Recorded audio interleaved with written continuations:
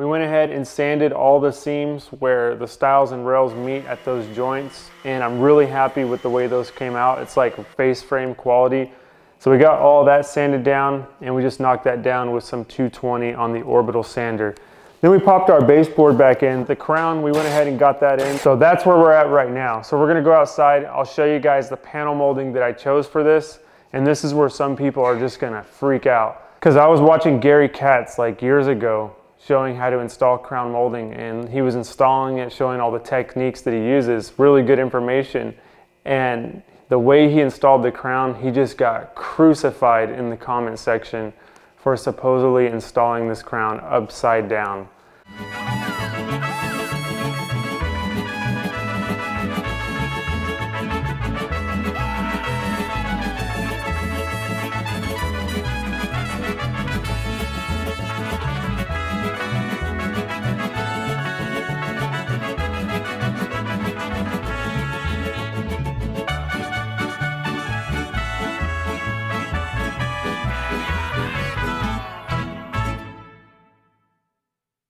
Now, if you ask me, I don't care at all how people install moldings. I know there's a specific way in the book that they're supposed to be installed. Like in the catalog, it shows them like the, the profile of the crown, this is supposed to be down. And there's a way that the architect, is, I get all that. The architect designed it. But personally, I just like things that look cool. So we're gonna use a molding here that was not intended to be a panel molding. So don't freak out on me. I have no college background. I have no architectural background. I'm just a man with two hands who likes to make things look cool. That's it. So don't freak out on me. And the irony of it, all those people in Gary Katz's video who were saying the crown was upside down, it wasn't. It was actually a Windsor One crown and it was installed the right way.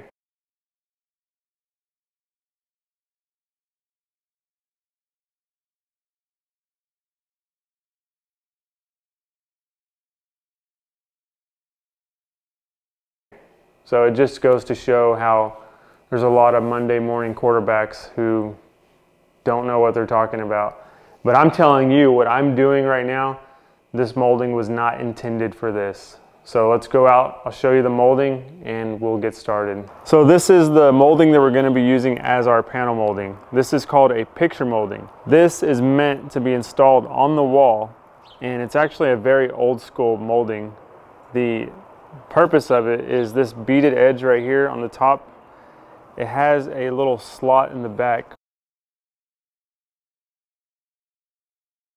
where these hooks would hook on and then you can hang pictures from it. I know it sounds weird and I'd venture to guess that this thing probably doesn't get a whole lot of use for what it was really made for. I've only installed this one time in 10 years and it was not for the purpose of what it's made for if that says anything. But what we're gonna be using this for is an offset panel molding. I have a real offset panel molding right here, a small sample uh, of another profile. And you can see it has this notch cut out of the back of it. Very similar to the slot I just showed you on the picture molding. And the purpose of that is it'll sit installed in this cradled position. Just like a crown molding, you can see there's, there's space back there behind the two materials. And this, this offset panel molding will actually adjust to a really large uh, buildup. So you could even do it this tall if you needed to, if you wanted to go for a lot of depth. So that's the idea that we're doing with this picture molding. So now take a look at it with the picture molding, you can see my idea. So I'm just gonna cut it in this position and it'll be installed on our stiles and rails that are already on the wall in there. And it's very important that when I cut this, it's cut in the exact position that it's going to go on the wall because if it's not it's not going to fit properly. It would be the same as if you tried to cut crown on the saw in the wrong position and then you went to the wall and ceiling and went to go fit it in its place, it just wouldn't work out. So that's the same idea but for panel molding. 45 this way.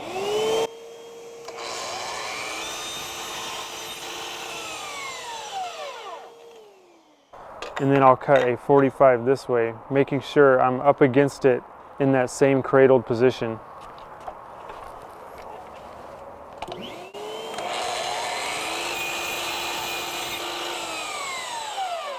Then I'll just chop this thing down the middle and obviously I don't need to have it cradled for that.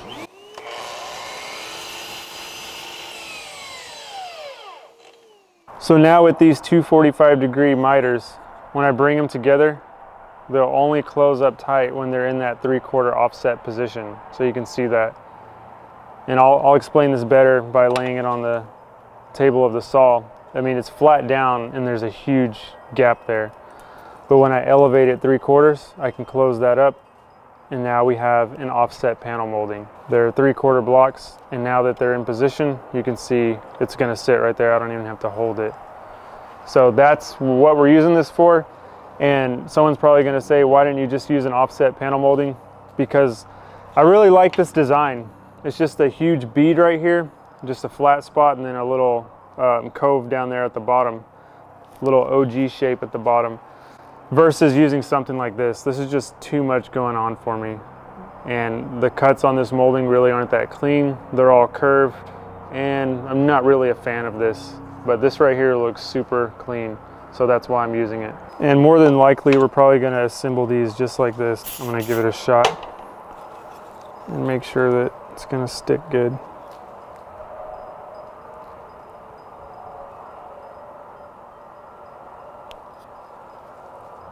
Oh yeah, it's definitely gonna stick good. I got the, the glue on my tongue, mijo. Ow! That's how we're gonna look right there. Nice profile and a really nice built up piece. This is a chunky piece of molding for this. A lot of times when we do these kind of walls, we just put like a PM inside there or a cove, but this is gonna really beef it up. Does it really go with the rest of the trim in my house? Not really, but like I've said many times, this house is just a lab for me to try new things and see if I like it. If I don't, then then I'll remember that because I'll have to live with it. so now that we have our little sample glued together, what we're gonna do is we're gonna drop this into one of these corners and then mark it. This is gonna make it so much easier for us to measure and make sure we're getting the right cuts on these panel moldings. And if you've ever cut like any kind of panel molding, you know it can be frustrating trying to see where to cut it at and looking behind your blade to see where that blade's gonna hit. This allows you to measure from tip to tip of the molding and then just cut from those and measure from those as well. If you ever cut outside corner molding, that stuff is probably the worst for what I'm explaining here. You understand that it's a little tricky. So anyways, we'll just drop this into place and you can see that looks really crisp. The thing that brought me to this molding was this huge bead. It's gonna be really cool to see this huge bead just running all around these panels.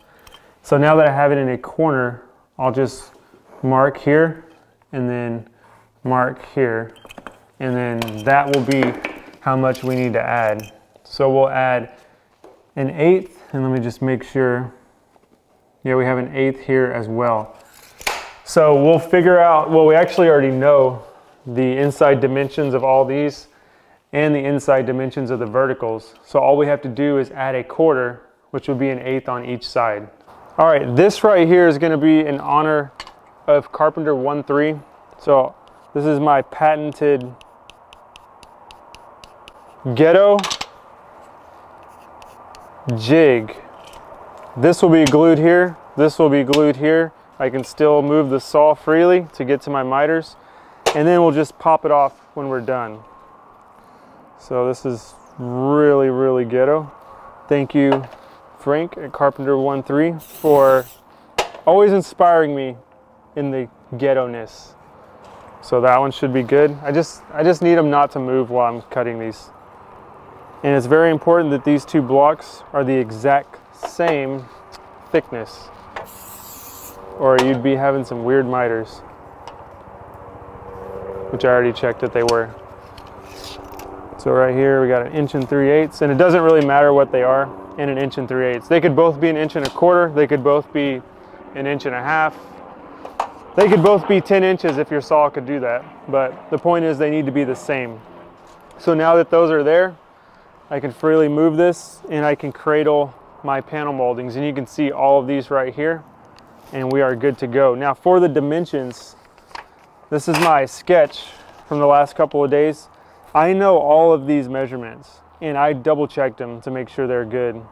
All of these right here, the 30 inches across, the 46 in, across, all that stuff is good. So I'm just gonna add a quarter to those and then a quarter to these as well for that eighth on each side. So we're in our cradled position. Make this first cut.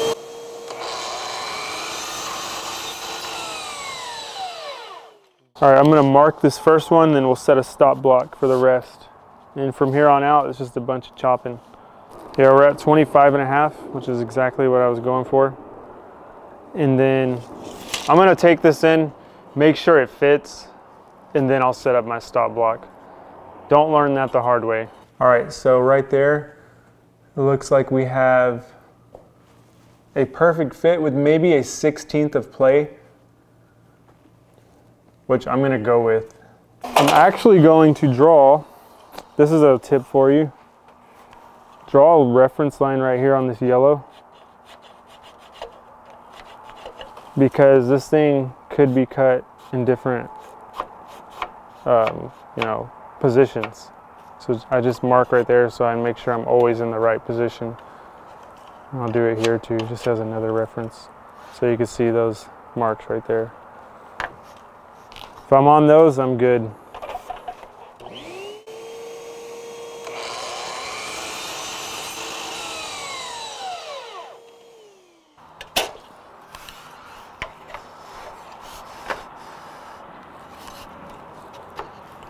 And for this one, I'm gonna have to do the same thing.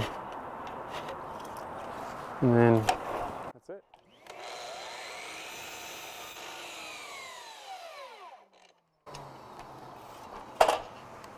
and then I'll just double check and right there we are good. You can see that miter coming together. So as long as I reference those pencil marks there, I shouldn't have any issues with this. This can go really wrong if you forget to do something or if you don't have it in the right position, you'll have huge gaps like that. And they'd be pretty much like on the same, like making it worse. Like they'd both be at the bottom like that or they'd both be at the top. You've got to cut these things dead on to get this.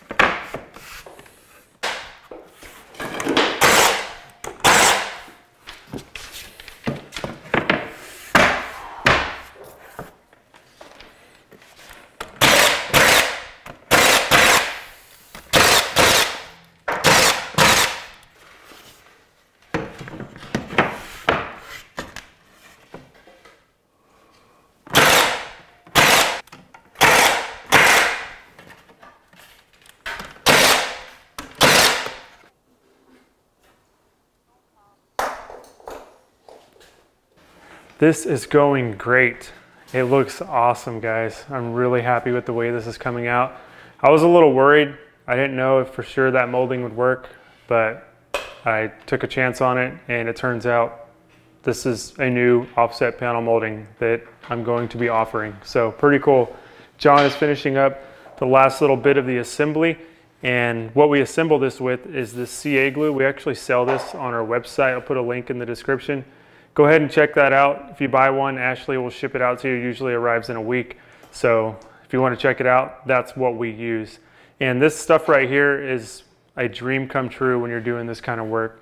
So John has been assembling them. You guys have seen me been installing these things and that's the system that we're doing. So that's it. And I thought I would mention this because there's a lot of new people here and most of you guys who are longtime subscribers, you know, I mean, I use this on everything, brush my teeth with it, everything. So yeah, no, don't try that.